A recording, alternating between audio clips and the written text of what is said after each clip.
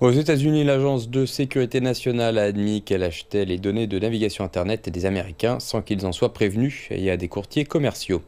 C'est ce qui ressort d'une lettre adressée par le directeur de l'agence au sénateur démocrate Ron Wyden. M. Wyden, également défenseur de la vie privée et de la liberté sur Internet, a rendu cette lettre publique jeudi. Il a demandé aux responsables du renseignement américain de cesser d'utiliser les données personnelles des Américains à leur insu et sans leur consentement express, estimant que cette pratique était illégale.